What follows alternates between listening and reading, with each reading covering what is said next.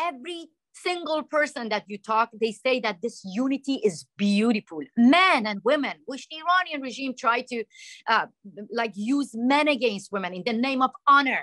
This is the time. If we don't get united to end Islamic terror, believe me, the Islamic terrorists will get united with the help of Putin, China, and all the dictators around, and they will end democracy. So just support us.